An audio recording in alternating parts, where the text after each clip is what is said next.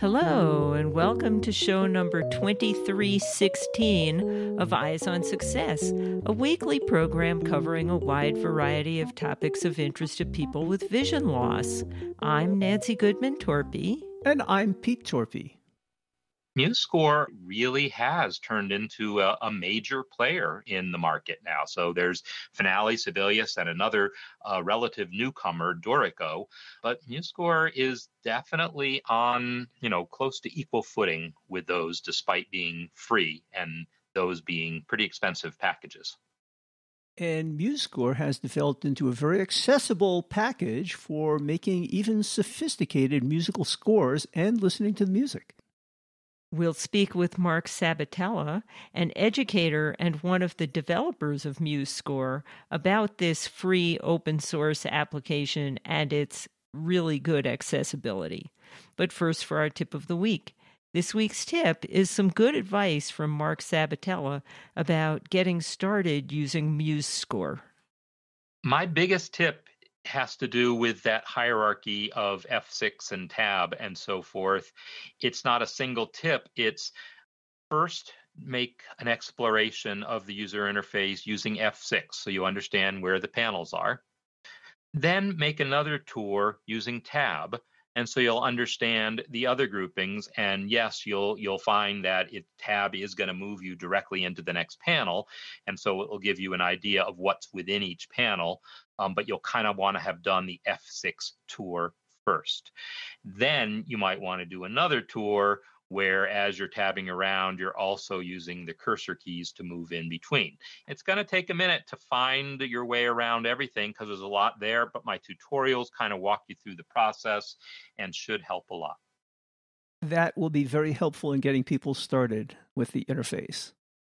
Support for Eyes on Success is provided by nsite.org, N-S-I-T-E dot O-R-G, and Nsite Connect, a job board exclusively designed for individuals who experience vision loss and employers who seek to fill open positions with talent who are blind or have low vision. Job postings are also open to veterans. Nsite, a vision for talent. You are listening to Eyes on Success. Success, success, success, success, success. Let's start by meeting Marc.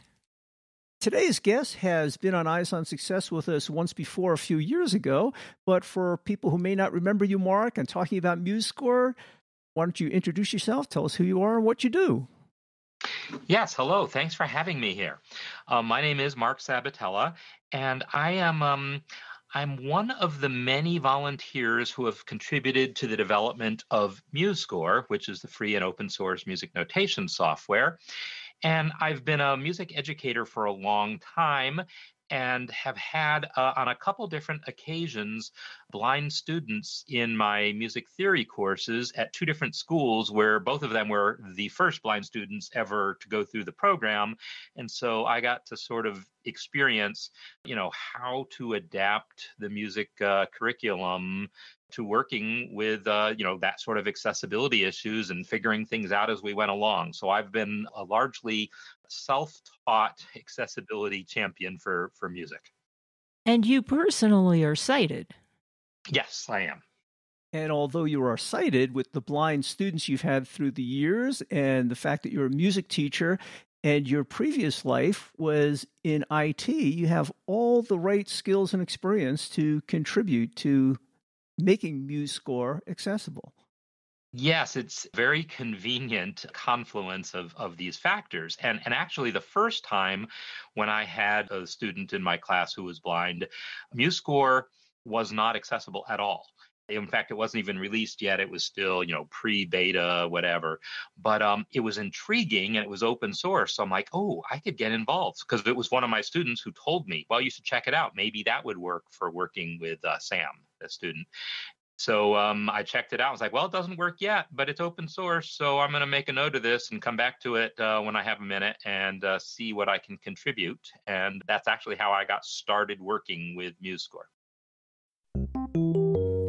Eyes on Success is made possible in part by our corporate partners. Underwriting pairs the impact of targeted marketing with the integrity of community goodwill. Learn more by sending an email to hosts at eyesonsuccess.net. This week's focus topic is MuseScore, a free open source program for creating and listening to musical scores. Now, Marc, you and I first ran into each other several years ago when I started using MuseScore 3, and it was not accessible with the JAWS screen reader. So I hopped on the MuseScore forums, started asking questions, and you quickly engaged in the conversation.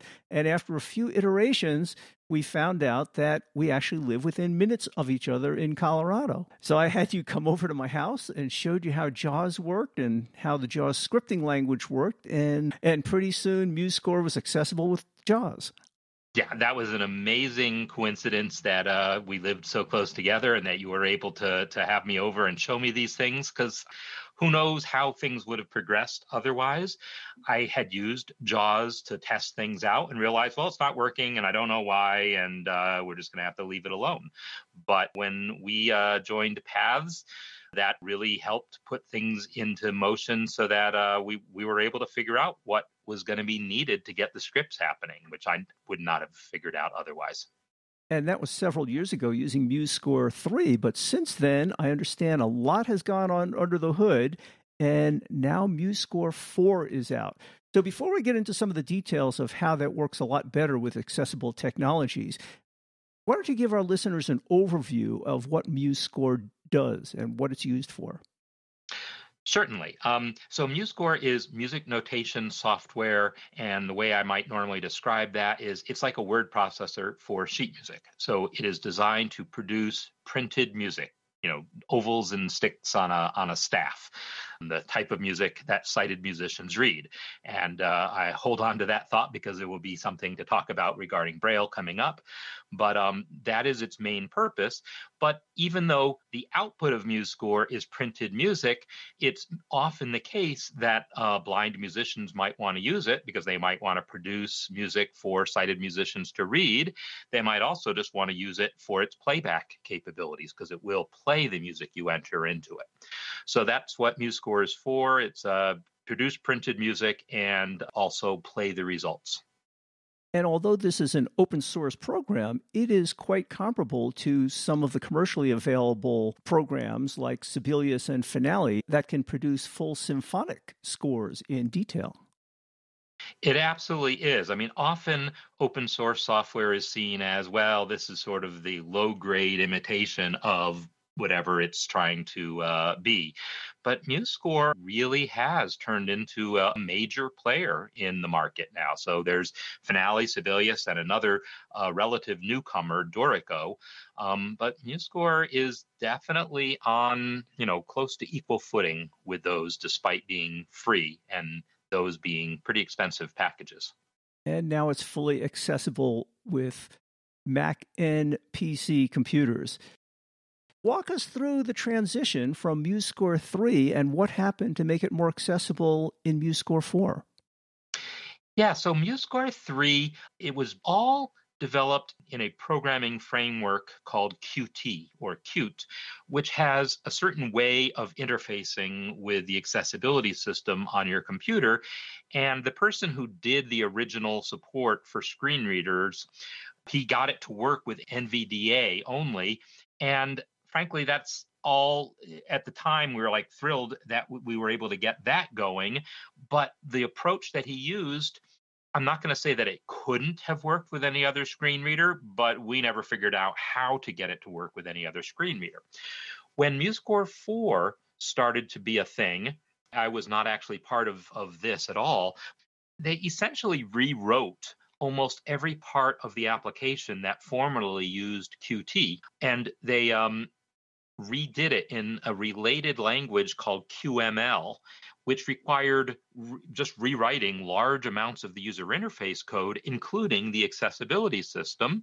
And since they had this opportunity to rewrite it using a new framework, they were able to do it in a way that basically it just worked with all screen readers out of the box just because of having a new framework and a new system to do it. So by rewriting it from scratch, it worked with everything. And again, just to reiterate, not only does it work with Windows PCs, but nowadays it also works on Mac computers, right? Yes, MuseScore itself has always worked on Windows as well as Mac, as well as Linux, which is also important because Linux is the system on which Chromebooks are running. The Chromebooks sort of run on top of Linux.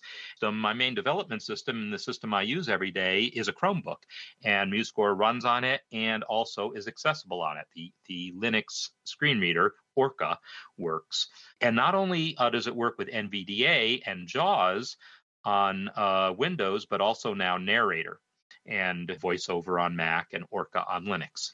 That is really great. Now, you put together some truly excellent tutorials using a screen reader to show how the new interface works and how people can get around. And it seemed like tab and F6 keys were very important. Can you give us an overview of the new paradigm and what people should expect? I can definitely give you an overview, and I would love to pick your brain while we're at this if you have any insight here. One of the pieces of feedback that we got uh, about uh, MuseScore 3 is, you know, the interface was pretty cluttered. There'd be a window that had, say, 30 different buttons on it. And if you wanted to get to button number, you know, 21, you had to press tab 21 times to get there.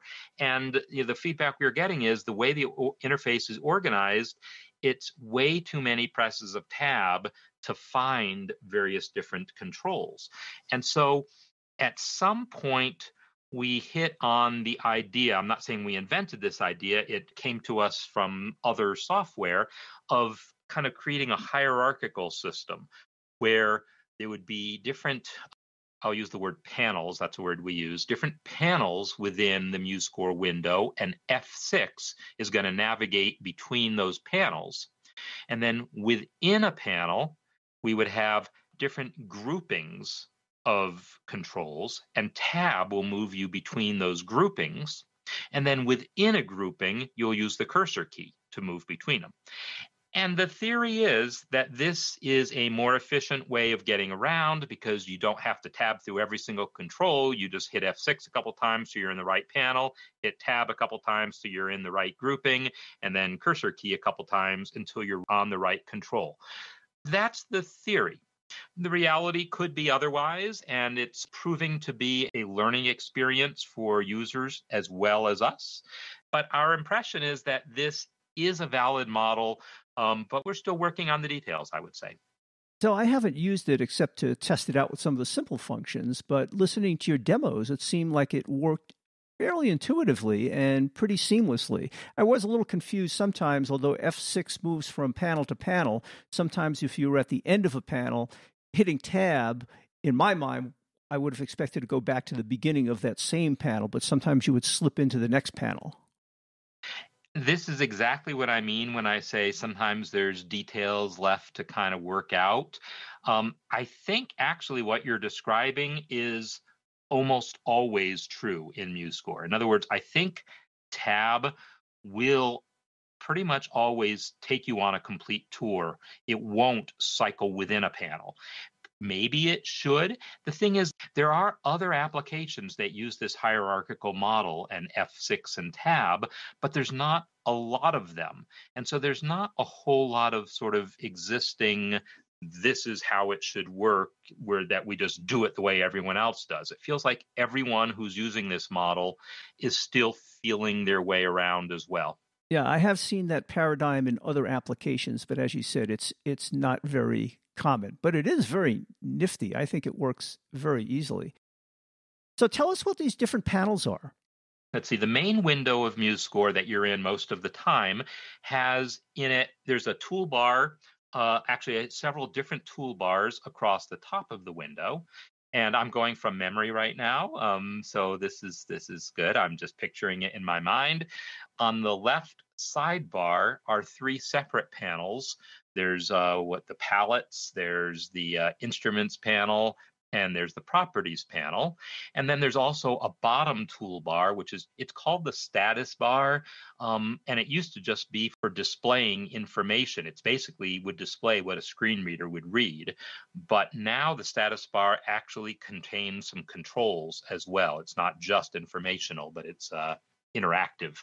Those are the panels that are always open, or at least open by default. But then there's some additional panels you can open up. There's a mixer, which is like an audio mixer with sliders to control the relative levels of the instruments. There's a navigation panel. There's two different man- navigation panels that help you kind of move around from one part of your score to another. And then there's various different dialogues that open as separate windows. But all those panels that I described, when they open, they're actually part of the main window. So they're part of the same tab order, basically. And you describe this as similar to a word processor. When it comes to entering notes, it's pretty easy to enter notes and all kinds of special markings that musical scores have. Can you talk a little bit about that? Yeah, so entering notes is definitely, uh, I would say, easy and as good as any other program that would do this. And it's going to feel very natural in many ways um, to be doing this with keyboard and screen reader because it's been highly optimized to work with keyboard.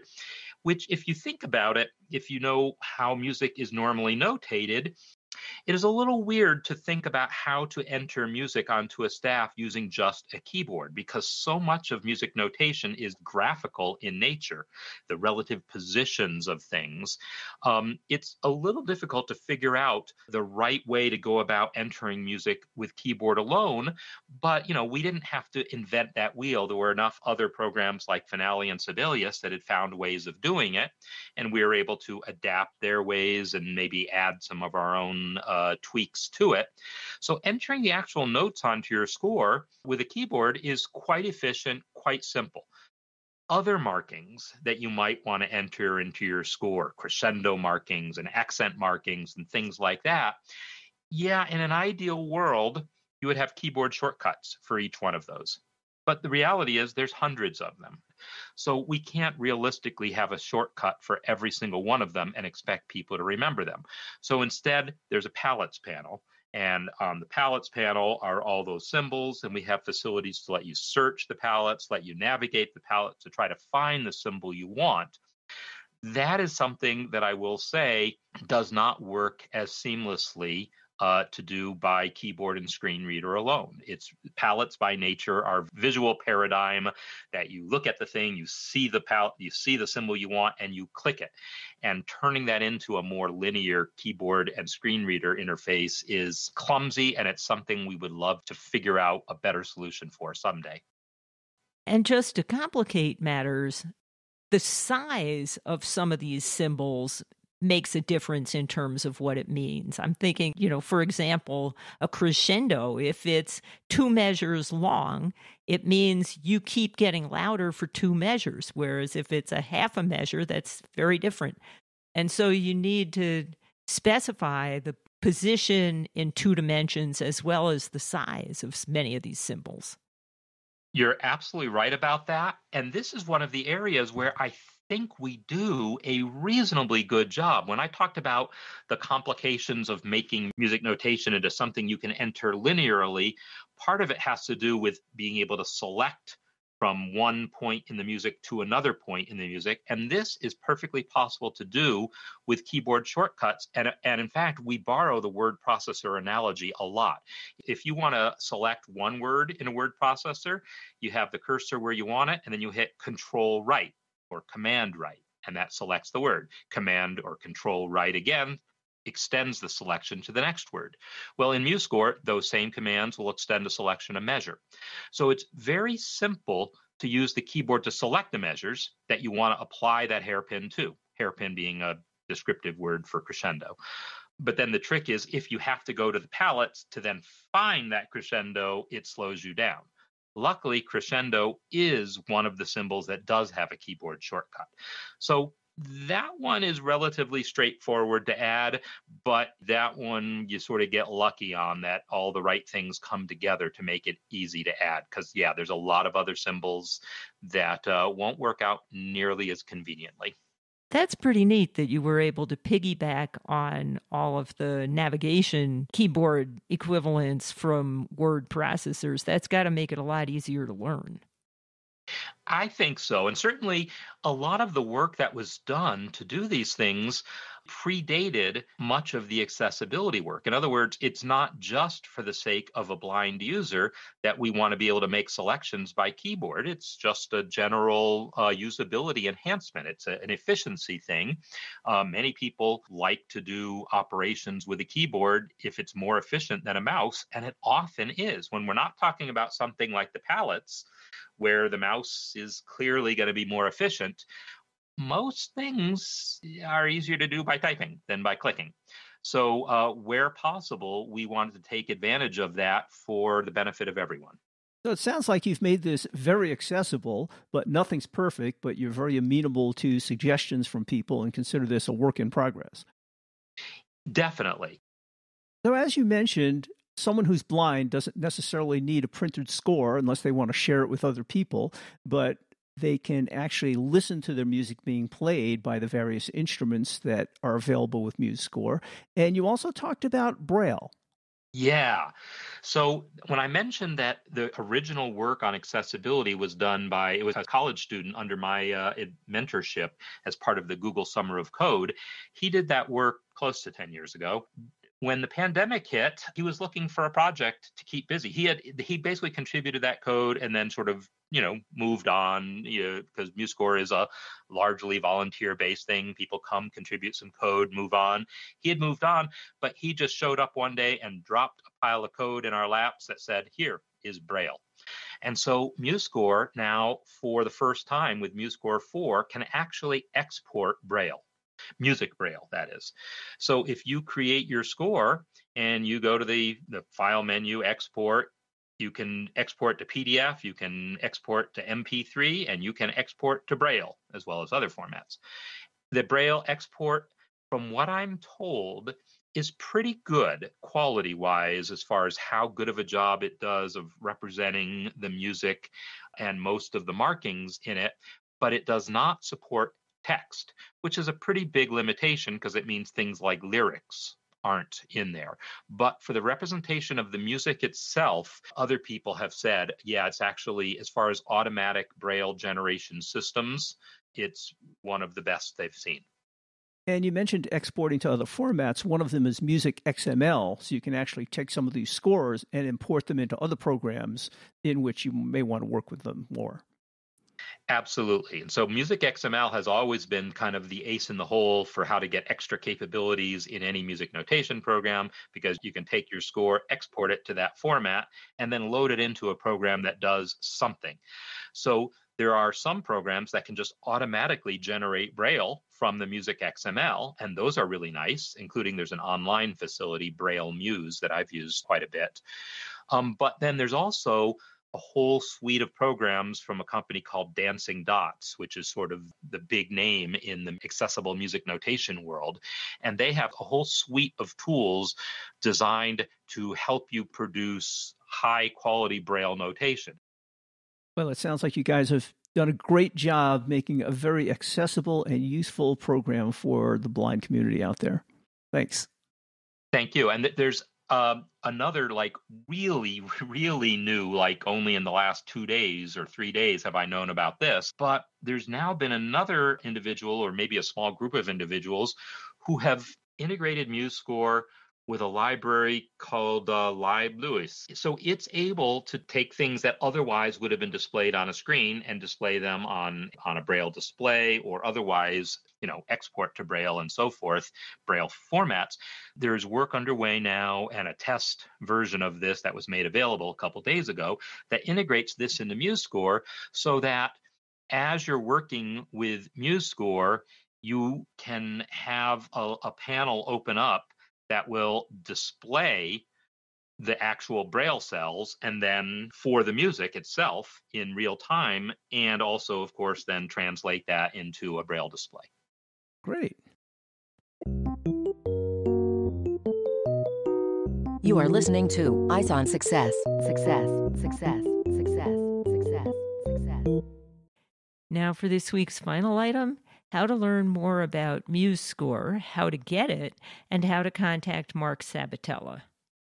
Well, Marc, if people want to try out MuseScore, where would they find it? So the place you get MuseScore is musescore.org. And I have to emphasize the .org as opposed to .com. MuseScore.com is a is a website for sharing the scores that you create, but it's not where you download the software from. It's where you download sheet music from. And where can people find the great tutorials that you put together for using MuseScore with a screen reader? So on musescore.org, yes, there's a menu across the top of the screen, and one of the items in the menu is support. And under the support menu uh, is the handbook, which has the, the most of the, the traditional documentation, but also in the support menu is accessibility that has a special section specifically for accessibility. And there's also information in the handbook for accessibility. So if you go to the accessibility section under support, it's going to bring up a page with information about general accessibility resources and so forth. And that will include links to uh, my video tutorials. And of course, we talked about the MuseScore forum, which was useful for me in the old days. Yes, and that is still there also in the support menu. You'll see the handbook, you'll see the forums, and you'll see the uh, the accessibility page. And the accessibility page is sort of like a one-stop shop for all the different accessibility resources. And I think you also do some online teaching. If people had questions for you or wanted to take some lessons over the internet, how would they go about that?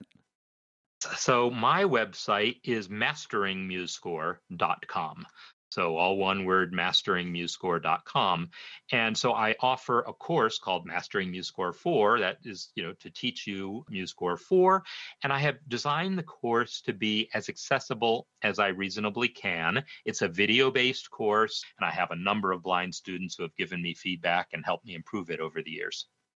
Marc, you mentioned that you also do some other teaching and tutorials, and how would people find out about that if they're interested? I have a number of courses for teaching music, including one that I'm running right now called Basic Music Theory. There's also a harmony course, and there's a counterpoint course, and other courses that I run from time to time. These are also courses that have been designed to be as accessible as possible. Uh, again, they're largely video based, but I try to be very conscious about the fact that I have blind students in them. Uh, you will find through masteringmusescore.com when you go to that website, you'll find a place to like sign up for my newsletter, and you'll get you know a couple of emails with more information. Uh, but you'll you'll discover how to access the different courses that way.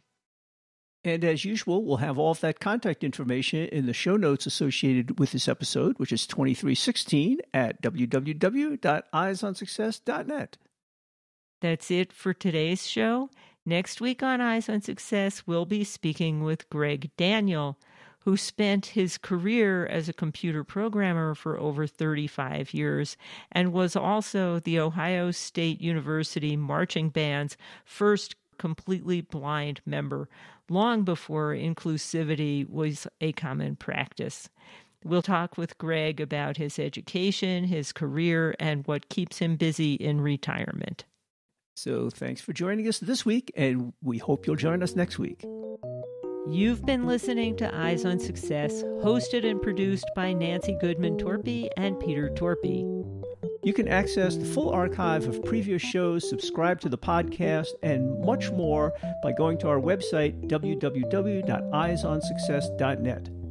If you have questions about anything you've heard on the show or have suggestions for future shows, send an email to hosts at eyesonsuccess.net. Thank you for listening and have a nice day.